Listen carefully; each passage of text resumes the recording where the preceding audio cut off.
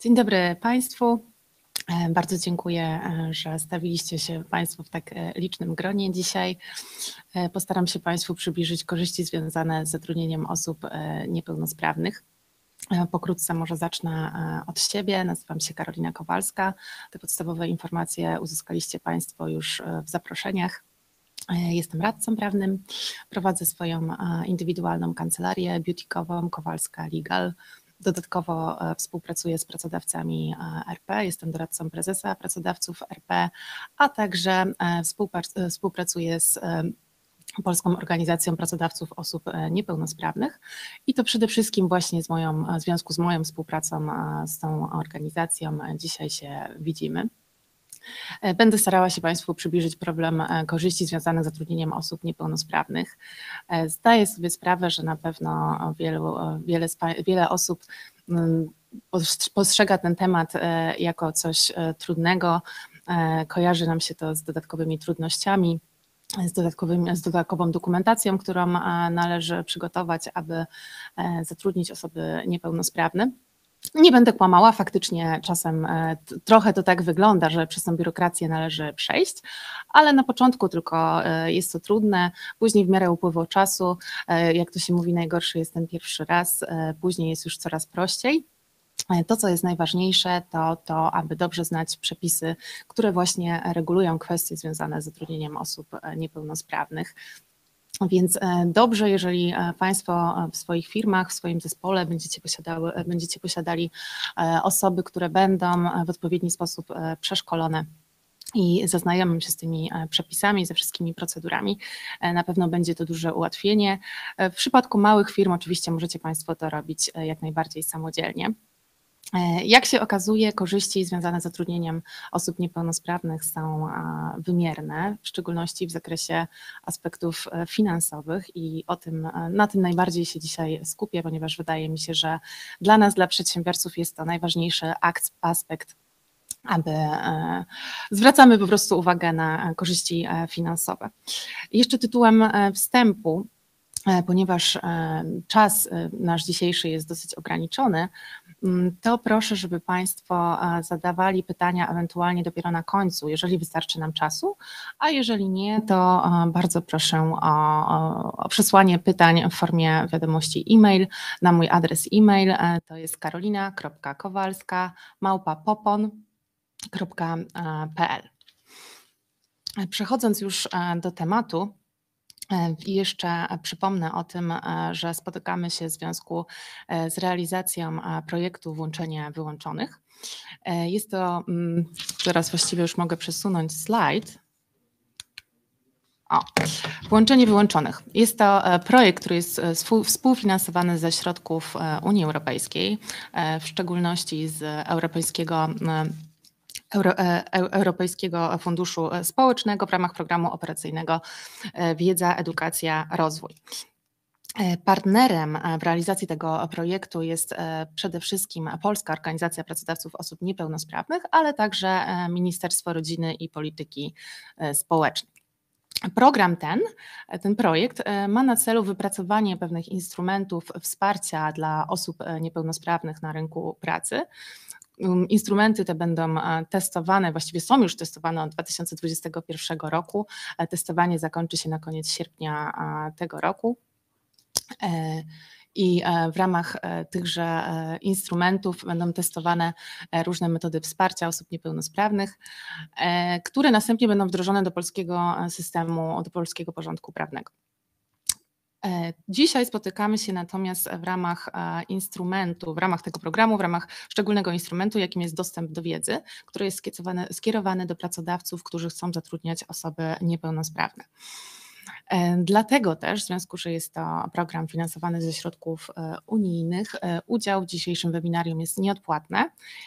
Wynika to z tego, że jest to pomoc, jest to pomoc de minimis W związku z tym będę miała do Państwa ogromną prośbę E, o wypełnienie mm, pewnych formularzy, które są e, przewidziane przez, e, przez ministerstwo, które są warunkiem koniecznym do wzięcia udziału w dzisiejszym webinarze. Będzie to parę formularzy takich stricte formalnych, tak jak już wspomniałam, czasem będziemy napotykać na tą, na tą biurokrację, w szczególności jeżeli mamy do czynienia z finansami publicznymi, to zawsze ich sposób rozliczenia jest dosyć sformalizowany.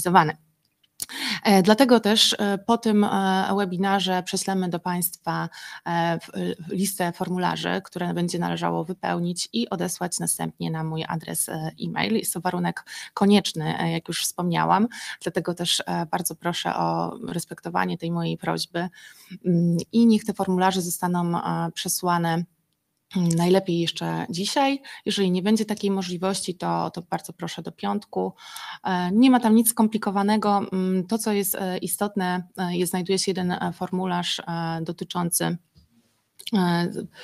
dotyczący zgłoszenia problemu, które państwo, na które, e, które Państwo chcieliby, abyśmy omówili. I właśnie tym problemem jest tutaj udział w tym webinarze, więc tam będzie należało wpisać udział w dzisiejszym webinarze, natomiast w informacji e-mail jeszcze te wszystkie kwestie doprecyzuję. Jak będzie jakiś problem, też zostawiam e, kontakt do siebie, numer telefonu, a także adres e-mail, także proszę śmiało się kontaktować.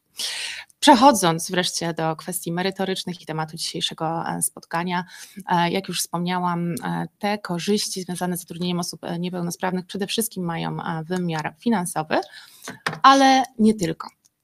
Zacznę więc od e, badań, e, które są imponujące i wskazują, że e, podmioty zatrudniające osoby niepełnosprawne uzyskują zdecydowanie lepsze wyniki finansowe. Warto tutaj zwrócić uwagę na raport, bada, badawczy, na raport badawczy AS Center we współpracy z Disability in American Association of People with Disabilities czyli tak zwani amerykańscy naukowcy e, przeprowadzili badania, z których e, wynika, że faktycznie firmy zatrudniające osoby niepełnosprawne uzyskują wyższe e, przychody, e, wyższy dochód netto, a także wyższą marżę. W trakcie tego badania zostało przebadanych aż 145 firm, z czego 45 firm, które faktycznie miały największy udział osób niepełnosprawnych w zatrudnieniu, osiągały nawet o 50%, czyli dwa razy większy dochód netto od innych firm, które tych osób nie zatrudniały.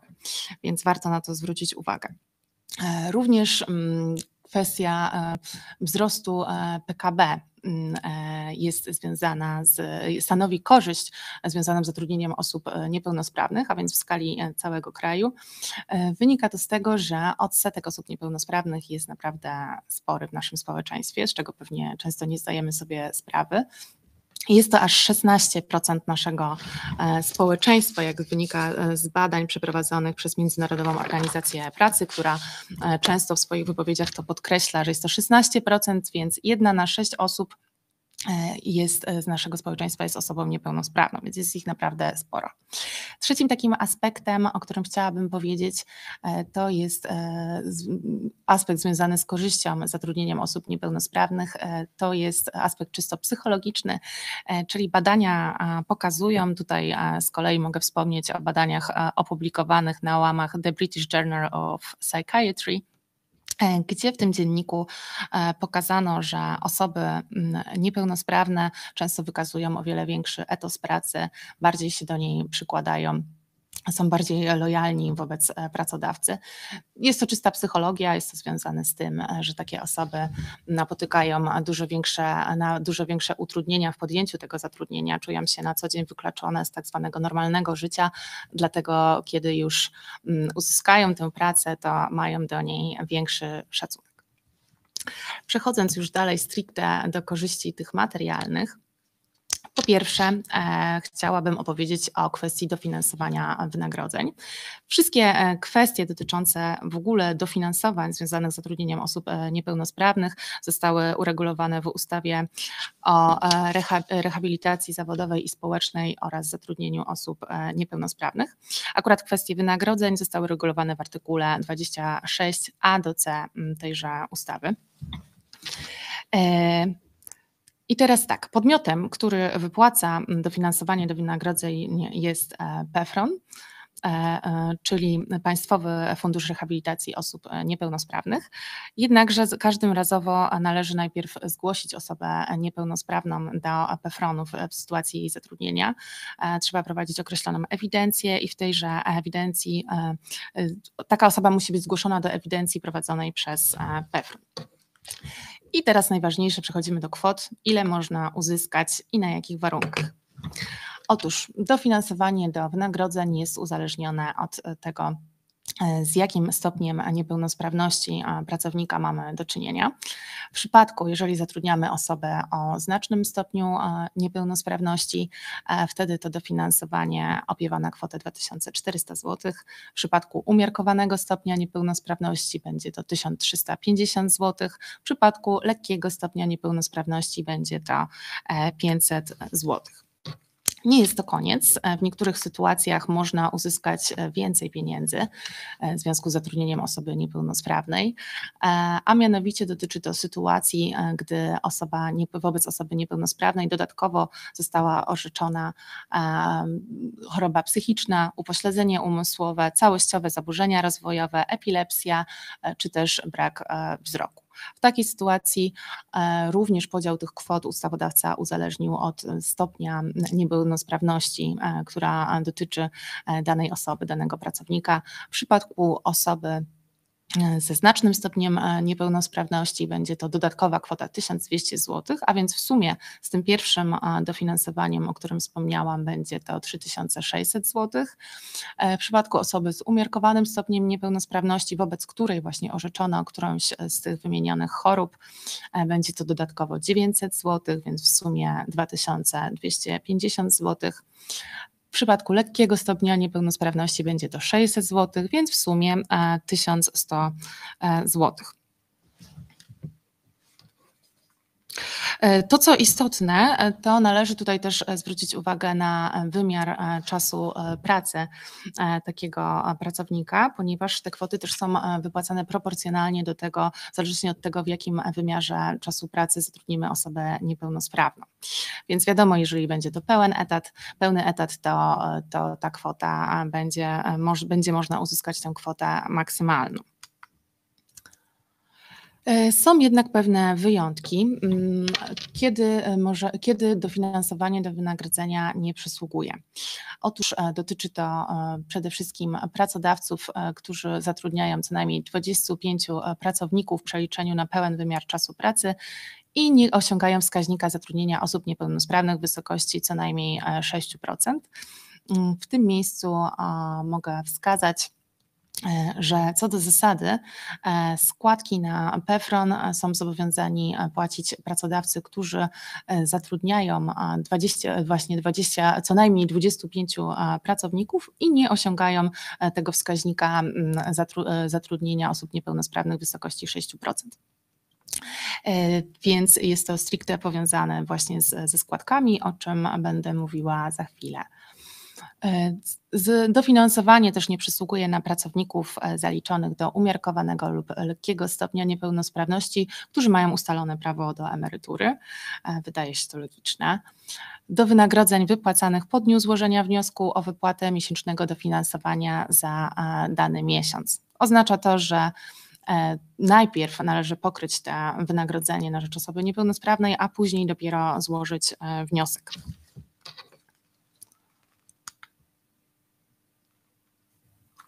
Dalej są też e, kolejne mm, wyłączenia, e, mianowicie dofinansowanie też nie przysługuje w sytuacji, jeżeli wynagrodzenie pracownika niepełnosprawnego nie zostało przekazane na jego rachunek bankowy lub rachunek spółdzielczej kasie oszczędnościowo-kredytowej, czyli krótko rzecz biorąc, jeżeli jako pracodawca nie zapłacimy osobie niepełnosprawnej tego wynagrodzenia, no to oczywiście nie możemy uzyskać dofinansowania, to również jest jak najbardziej logiczne.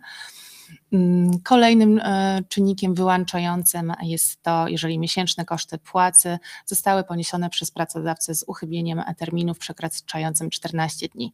Chodzi tutaj e, Koszty, koszty płacy są tutaj rozumiane szeroko, więc jest to nie tylko wynagrodzenie, które jest wypłacane na rzecz e, pra, e, pracownika niepełnosprawnego, ale również inne koszty, które ponosi pracodawca w związku z zatrudnieniem mm, pracowników, więc będą to e, składki przede wszystkim na ubezpieczenie rentowe, emerytalne czy też wypadkowe, na fundusz pracy, a także inne koszty, które są związane z zatrudnieniem. Jeżeli uchybiamy temu terminowi ponad 14 dni, to też nie dostaniemy dofinansowania na wynagrodzenia dla e, pracowników niepełnosprawnych.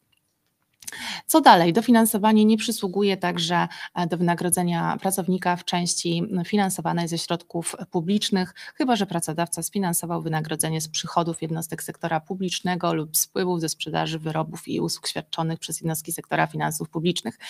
Czyli krótko rzecz biorąc, jeżeli e, wynagrodzenie będzie finansowane ze środków publicznych, no to też wydaje się całkiem logiczne, że w takiej sytuacji nie dostaniemy e, dofinansowania na wynagrodzenie dla osób niepełnosprawnych.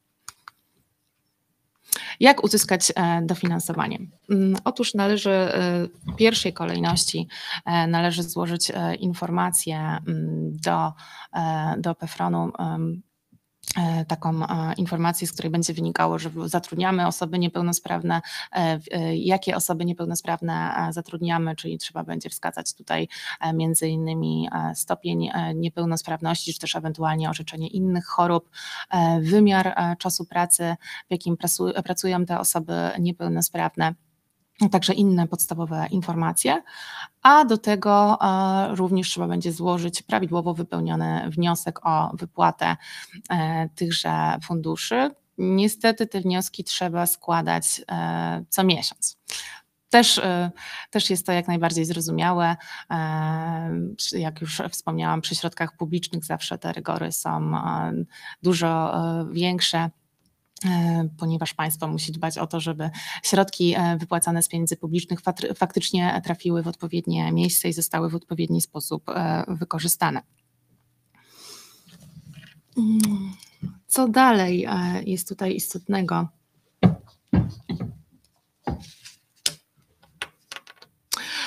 Kolejny slajd będzie dotyczył zaległości na rzecz funduszu. Otóż jeżeli e, pracodawca zalega e, ze środkami na rzecz funduszu, czyli z obowiązkowymi e, wpłatami, Wtedy tego, tego, finansowania na wynagrodzenie nie może otrzymać, więc jest to taki środek dyscyplinujący dla pracodawców i to dotyczy już, jak wskazano w ustawie, nawet e, kwoty 100 zł, czyli jeżeli nasze e, zaległości przekraczają kwotę 100 zł, w takiej sytuacji już e, prezes PFRON-u może wydać decyzję o wstrzymaniu wypłaty tych, tych środków.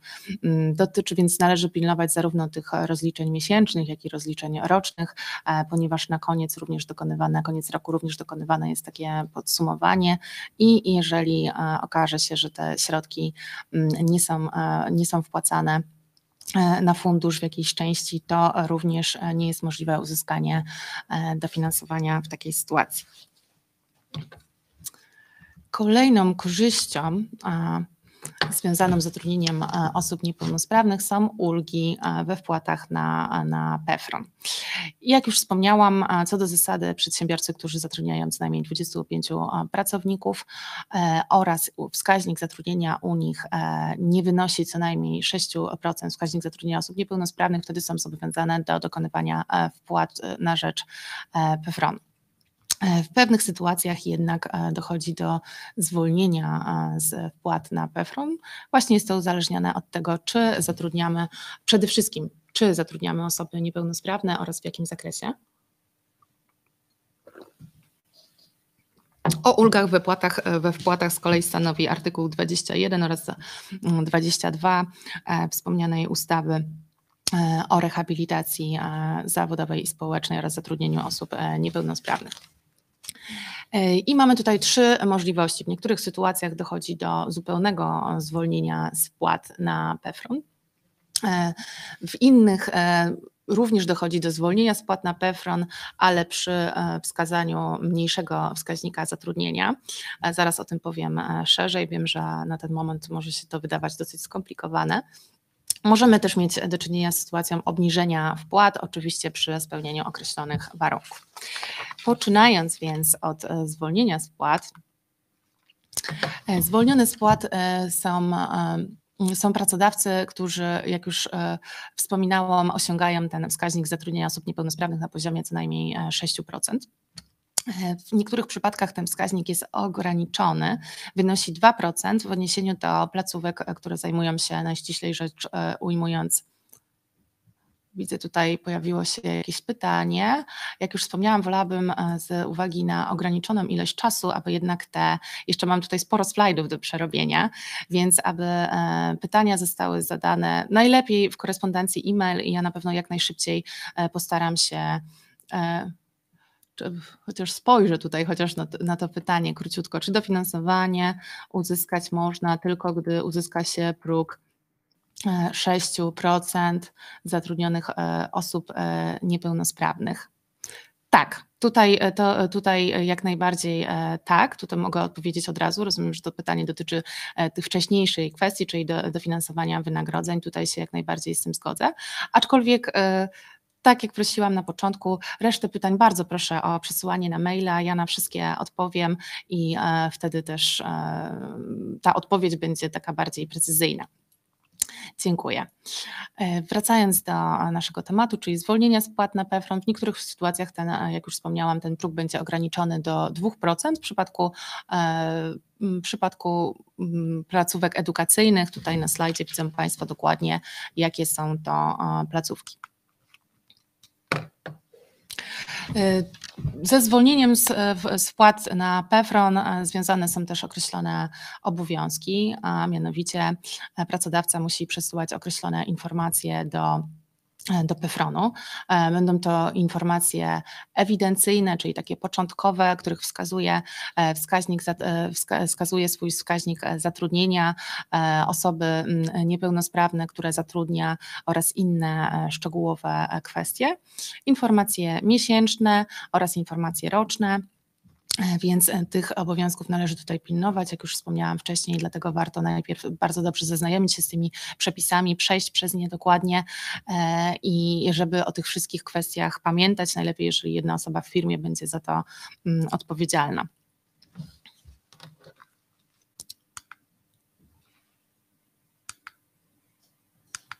Przechodząc dalej, coś tutaj. O, już mamy dalej. Dodatkowe obniżenie wskaźnika e, zatrudnienia. Czyli jak już wspomniałam, e, może też e, dojść do, obniży, do braku obowiązku wpłaty na PEFRON w sytuacji osiągnięcia mniejszego wskaźnika zatrudnienia. Dotyczy to określonych sytuacji. E, a mianowicie sytuacji, e, w których mm, osoba e, zaliczana do, osoba niepełnosprawna dodatkowo cierpi na chorobę, która jest poczytywana przez ustawodawcę jako szczególnie utrudniająca zatrudnienie. W takiej sytuacji ten wskaźnik e, może również ulec e, obniżeniu e, i przy mniejszym wskaźniku zatrudnienia osób niepełnosprawnych będziemy mogli ubiegać się o ulgę, nie będziemy musieli wpłacać składek na PEFRON. Tutaj Państwo widzicie te wszystkie choroby na slajdzie, powiem pokrótce, jest to m.in. choroba Parkinsona, także mm, HIV oraz AIDS, epilepsja i, i inne. E, I tutaj ustawodawca, mm, aby obniżyć ten e, wskaźnik, mm, wskaźnik obniżający, czyli procent, o który mamy obniżyć te 6%, aby nie musieć płacić e, na PEFRON, posłużył się wzorem. Już pokazuję. I wbrew pozorom nie jest on aż taki trudny do, do rozczytania. Mm, wygląda to w następujący sposób. E, e, wskaźnik obniżenia, czyli ten procent, o który obniżamy, e, liczy się w następujący sposób. Mnoży się trzy razy mm, zatrudnienie w przeliczeniu na pełny wymiar czasu pracy pracowników zaliczanych do znacznego stopnia niepełnosprawności. Następnie mnoży się dwukrotnie e, zatrudnienie w przeliczeniu na pełny wymiar e, czasu e, pracy osób niepełnosprawnych, wo których, wobec których zalicza się do umiarkowanego stopnia niepełnosprawności i dodatkowo orzeczono wobec tych osób właśnie którąś z tych chorób, zarówno w pierwszym, jak i w drugim przypadku. E, następnie mnoży się nasz wynik przez 100% e, i przez e, zatrudnienie ogółem, czyli ilu pracowników w, przy, na jeden, na, przeliczeniu na pełny wymiar czasu pracy zatrudniamy ogółem.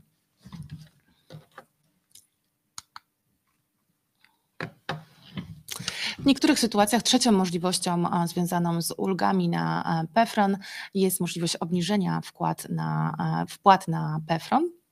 E, przy e, w sytuacji zakupu określonych e, produkcji oraz usług od określonych podmiotów, które właśnie zatrudniają, mają wysoki wskaźnik, najogólniej rzecz biorąc, tak, te podmioty są doprecyzowane w ustawie, widzą Państwo tutaj na, na slajdzie, mamy do czynienia mianowicie z zakładami aktywności zawodowej, przedsiębiorstwami społecznymi lub w szczególnych przypadkach innymi pracodawcami.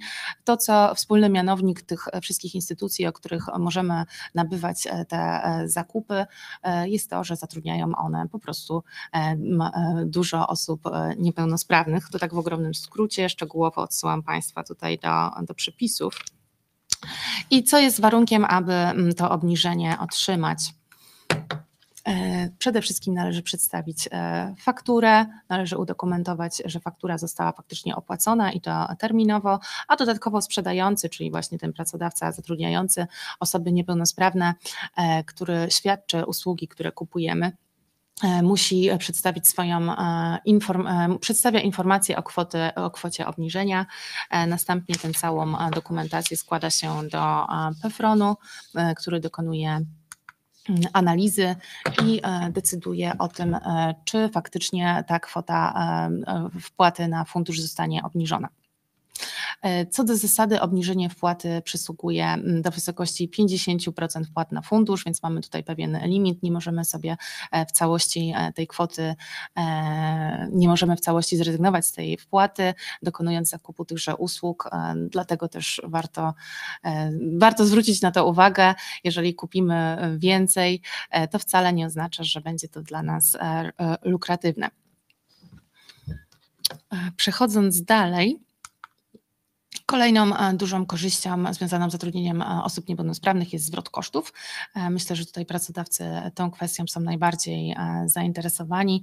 Najogólniej rzecz biorąc chodzi o to, że w sytuacji zatrudnienia osoby niepełnosprawnej możemy uzyskać zwrot kosztów związanych z adaptacją miejsca pracy do warunków, do do e, adaptacji miejsca pracy do danej osoby niepełnosprawnej, do, do jej ograniczeń. Więc e, w pierwszej kolejności możemy tutaj mówić o adaptacji pomieszczeń, czyli e, zakupie jakiegoś odpowiedniego wyposażenia do pomieszczeń, czy różnych urządzeń, które będą pomagały osobie niepełnosprawnej w prawidłowym wykonywaniu przez nią pracy. Mm, także adaptacja lub nabycia urządzeń, e, zakup i amortyzacja e, oprogramowania. Niektóre osoby niepełnosprawne muszą e, korzystać z określonego oprogramowania, aby móc prawidłowo wykonywać swoją pracę. Wiadomo, jest to uzależnione też od charakteru pracy. Również możemy uzyskać e, zwrot e, kosztów e, rozpoznania potrzeb osoby niepełnosprawnej w zakresie powyższych adaptacji zakupów. Czyli jeżeli korzystamy z usług profesjonalisty, który nam wskaże, co na, dla tej osoby niepełnosprawnej konkretnie trzeba zrobić, aby jej miejsce pracy było odpowiednie, aby ona mogła wykonywać tę pracę, no to za taką opinię również możemy uzyskać finansowanie.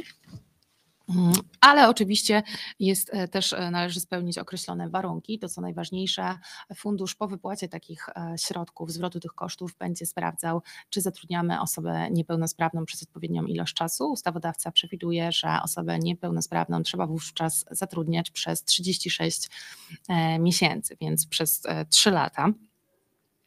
To, co też istotne, PEFRON, e, badając ten e, zwrot kosztów, e, będzie, będzie brał pod uwagę to, czy są to faktycznie koszty dodatkowe związane z zatrudnieniem osób niepełnosprawnych. Więc wiadomo, że nie mogą to być koszty, które i tak pracodawca by poniósł, zatrudniając innego pracownika, czy też koszty, które z których mogą korzystać, e, koszty przeznaczone na jakieś potrzeby, z których mogą korzystać inni pracownicy, mają to być właśnie koszty, które mają być przeznaczone typowo dla osoby niepełnosprawnej. E, kolejną możliwością e, zwrotu jest zwrot kosztów wyposażenia. Z tym, że tutaj mamy limit, możemy dochodzić zwrotu kosztów wyposażenia stanowiska pracy dla osoby niepełnosprawnej jedynie do wysokości do 15-krotności przeciętnego wynagrodzenia. Mm, więc e, trzeba mieć to na względzie, e, dokonując e, zakupów określonego wyposażenia. W tym przypadku również ustawodawca przewidział warunek zatrudnienia osoby niepełnosprawnej następnie przez 36 miesięcy. Jeżeli nie, będzie, nie spełnimy tego warunku, nie będziemy zatrudniać osoby niepełnosprawnej przez 36 miesięcy, to trzeba będzie te koszty zwrócić na rzecz PFRON-u. Mm, w tym przypadku e, tymi zwrotami e, gospodaruje nie PEFRON, tylko starosta. Aby uzyskać zwrot kosztów, należy złożyć odpowiedni wniosek do starosty, następnie zawrzeć z nim umowę e, i dopiero później uzyskamy ten zwrot kosztów. Jeżeli natomiast pracodawcą jest starosta, to taka umowa zostanie zawarta z funduszem E, z, z, z Pefronem, a nie ze starostą.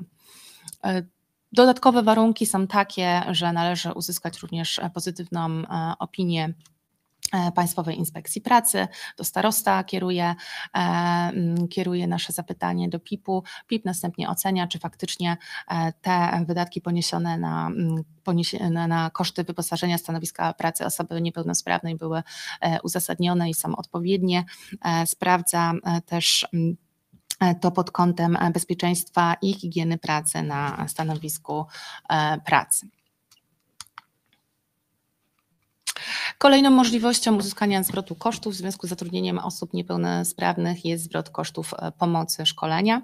Chodzi więc o koszty, które ponosimy w związku e, z zatrudnieniem innej osoby, e, która nie jest osobą niepełnosprawną i która pomaga osobie niepełnosprawnej.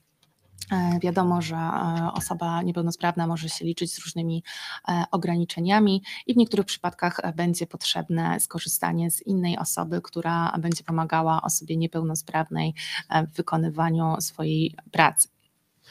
Co, jaki zwrot można uzyskać? Otóż można dochodzić zwrotu miesięcznych kosztów zatrudnienia pracowników pomagających pracownikowi niepełnosprawnemu w pracy.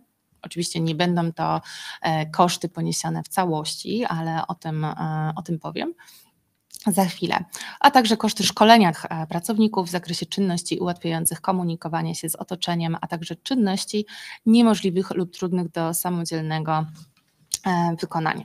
Ustawodawca tutaj również przewidział taki wzór, według, tego, według którego możemy obliczyć wysokość zwrotu tego e, wynagrodzenia, e, które ponieśliśmy na rzecz pomocnika osoby niepełnosprawnej.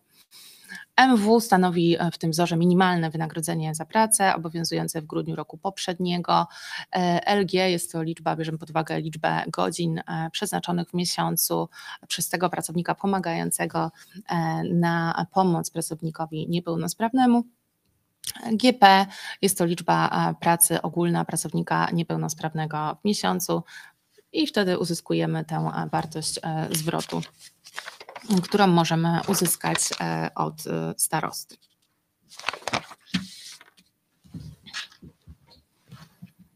Co tutaj jest jeszcze istotne, podobnie jak w przypadku zwrotu kosztów wyposażenia stanowiska osoby niepełnosprawnej, ten zwrot kosztów również odbywa się na podstawie umowy zawartej ze starostą, e, więc procedura jest e, bardzo podobna, ewentualnie na podstawie umowy zawartej z PEFRONem, jeżeli pracodawcą e, jest z kolei starosta. Jeżeli natomiast chodzi o zwrot kosztów szkolenia, co do zasady szkolenia takiej osoby, która pomaga osobie niepełnosprawnej, co do zasady zwrot kosztów powinien stanowić całość kosztów, 100% e, kosztów poniesionych e, na szkolenie tego pracownika. Jednakże nie może być to wartość wyższa niż minimalne wynagrodzenie, jest więc tutaj również to, to ograniczenie, ograniczenie kwotowe. To jest to, o czym przed chwilą e, wspomniałam na tym slajdzie, czyli zwrotu kosztów dokonuje starosta na warunkach i wysokości określonej umową zawartą z pracodawcą. Zwrot obejmuje 100% kosztów szkolenia, ale do wysokości minimalnego wynagrodzenia. Warunkiem zwrotu e, jest e, tutaj również uzyskanie pozytywnej opinii od Państwowej Inspekcji Pracy w zakresie pomocy oraz szkolenia. Ustawodawca też tutaj szczególną uwagę poświęcił zakładom pracy chronionej, e, które mają specjalne przywileje i mogą e, się ubiegać również o zwroty. Kto może zostać, jaki podmiot może zostać zakładem pracy chronionej? Tutaj przewiduje się, ustawa przewiduje, że jest to podmiot, który prowadzi działalność gospodarczą minimum przez 12 miesięcy, zatrudnia minimum 25 pracowników w przeliczeniu na pełen wymiar czasu pracy Kolejnymi warunkami e, będzie oczywiście, tak jak to wcześniej e, było, e, odpowiedni wskaźnik zatrudnienia, gdzie te wskaźniki tutaj wobec Zakładu Pracy Chronionej są oczywiście zawyżone. Jest to minimum 50% w tym 20% osób ze znacznym lub umiarkowanym stopniem niepełnosprawności, albo minimum 30% niewidomych lub psychicznie chorych, albo upośledzonych umysłowo, zaliczonych do znacznego lub umiarkowanego stopnia niepełnosprawności. E, kolejnym warunkiem e, uzyskania e, statusu zakłady pracy chronionej jest to, aby obiekty i pomieszczenia odpowiadały przepisom i zasadom BHP oraz uwzględniały potrzeby osób niepełnosprawnych. Dodatkowo w takim zakładzie pracy, w związku z tym, że jest wielu pracowników niepełnosprawnych, musi być zapewniona także doraźna i specjalistyczna opieka medyczna, poradnictwo i usługi rehabilitacyjne. E, oczywiście należy złożyć e, wniosek o przyznanie takiego, e, takiego o przyznanie statusu takiego zakładu pracy chronionej, aby uzyskać odpowiedni wzrost kosztów jak wygląda dofinansowanie zakładu pracy chronionej. E, można uzyskać aż do 50% oprocentowania zaciągniętych kredytów przez takiego pracodawcę, e, z tym, że e, te kredyty oczywiście muszą być zaciągnięte w cel, na cele związane z rehabilitacją zawodową i społeczną osób niepełnosprawnych. Dodatkowo e, Zakład Pracy Chronionej może uzyskać e, zwrot e, kosztów budowy czy też dostosowania zakładu pracy do, do, do warunków, które będą odpowiednie dla osób niepełnosprawnych, zwrot kosztów transportowych, a także kosztów administracyjnych. Dofinansowanie tutaj, jak w każdym przypadku, e, tak naprawdę dofinansowania zwrotu kosztów dotyczy wyłącznie dodatkowych kosztów wynikających z zatrudnienia osób niepełnosprawnych, więc jak już wspomniałam, nie mogą to być takie zwykłe koszty ponoszone przez e, pracodawcę w związku z innymi pracownikami. E, wymóg wskaźnika zatrudnienia osób niepełnosprawnych w wysokości co najmniej 50%, 50% e, czyli jak już e, wspominałam chwilę wcześniej, te wymogi w odniesieniu do zakładu pracy chronionej są podwyższone. Co do zasady powinno to być 50%, ale może to być wskaźnik niższy w przypadku określonych schorzeń osób niepełnosprawnych.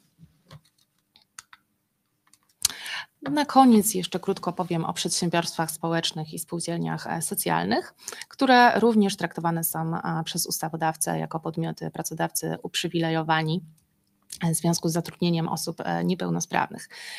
Przedsiębiorstwa mm, społeczne czym są? Przedsiębiorstwa społeczne są to podmioty E, które mogą być organizacjami pozarządowymi czy też spółdzielniami e, pracy. Oczywiście mm, są też pewne wyjątki e, ale liczy się to, aby ich celem, ich celem nie było pozyskiwanie zysków, tylko działanie na rzecz społeczeństwa, aby to były to działania społeczne.